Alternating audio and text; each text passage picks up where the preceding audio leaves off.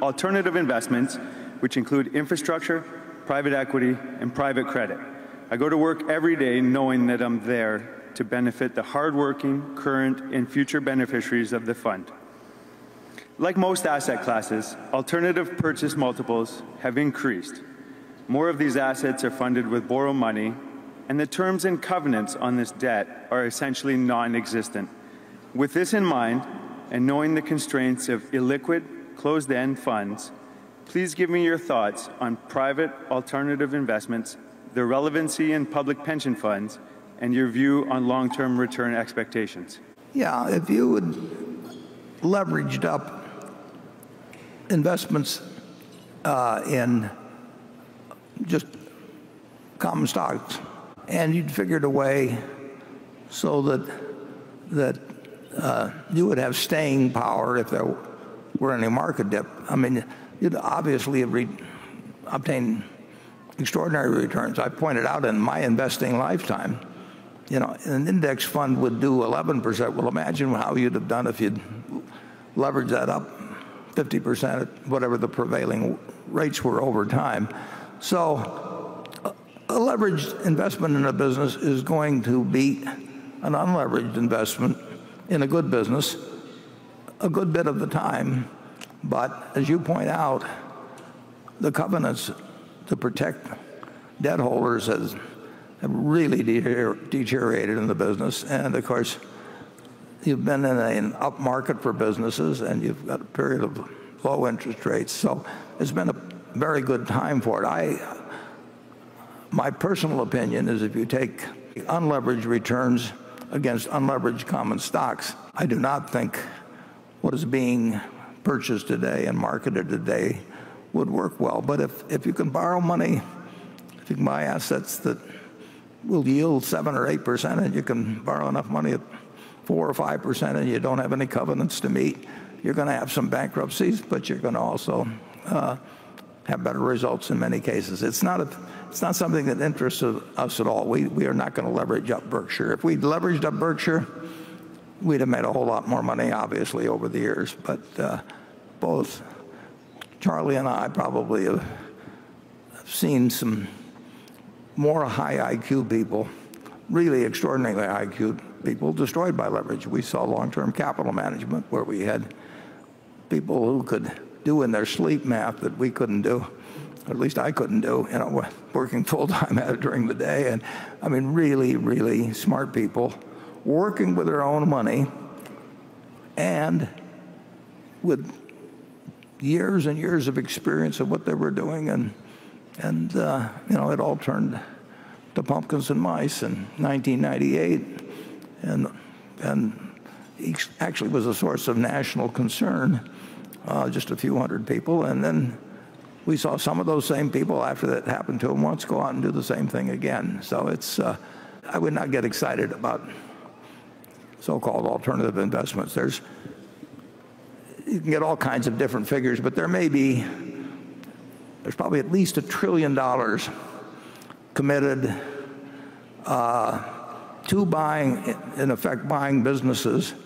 And if you figure they're going to leverage them you know, two for one on that, you may have 3 trillion of buying power trying to buy businesses in a, well, the U.S. market may be something over 30 trillion now, but there's all kinds of businesses that aren't for sale and that thing. So the supply-demand situation for buying businesses privately and leveraging them up has changed dramatically from what it was 10 or 20 years ago. And I'm sure it doesn't happen with your Winnipeg operation, but, but we have seen a number of proposals from private equity funds where the returns are really not calculated in a in a manner that uh, well, I they're not calculated in a manner that I would regard as honest. And uh, uh, so I, it, it's, it's, it's, it's not something, if I were running a pension fund, I would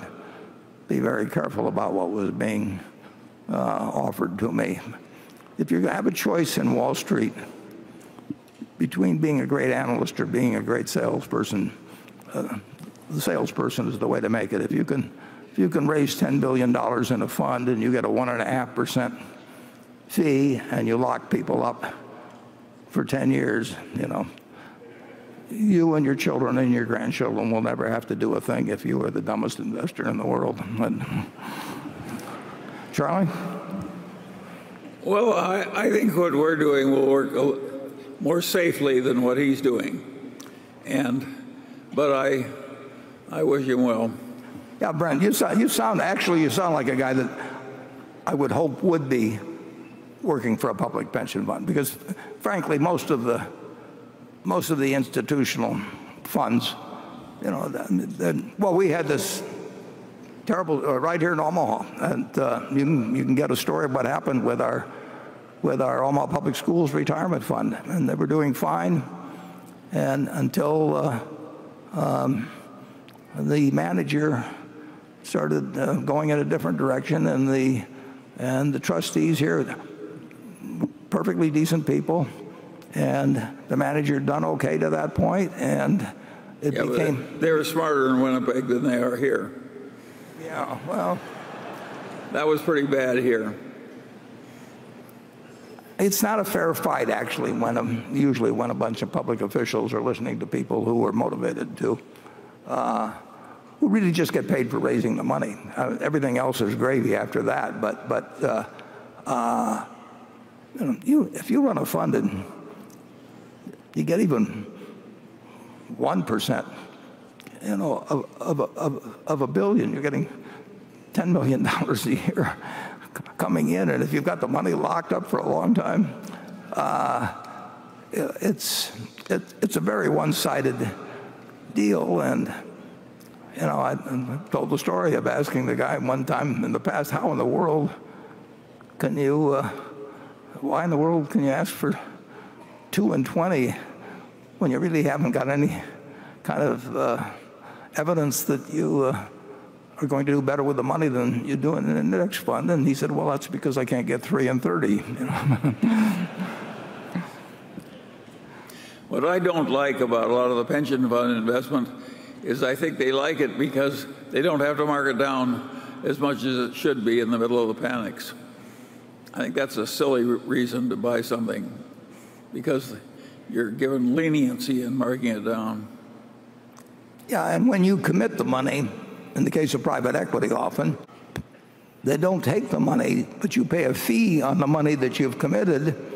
And of course, you really have to have that money to come up with it at any time. And of course, it makes their return look better if you sit there for a long time in treasury bills, which you have to hold because they can call you up and demand the money, and they don't count that. They count it in terms of getting a fee on it, but they don't count it in terms of what the so-called internal rate of return is. It's it's it's it's uh, it's not as good as it looks, and and I really do think that when you have a group sitting as a state pension fund, Or all they're doing is lying a little bit to make the money come in. yeah, yeah, well, that, that sums it up.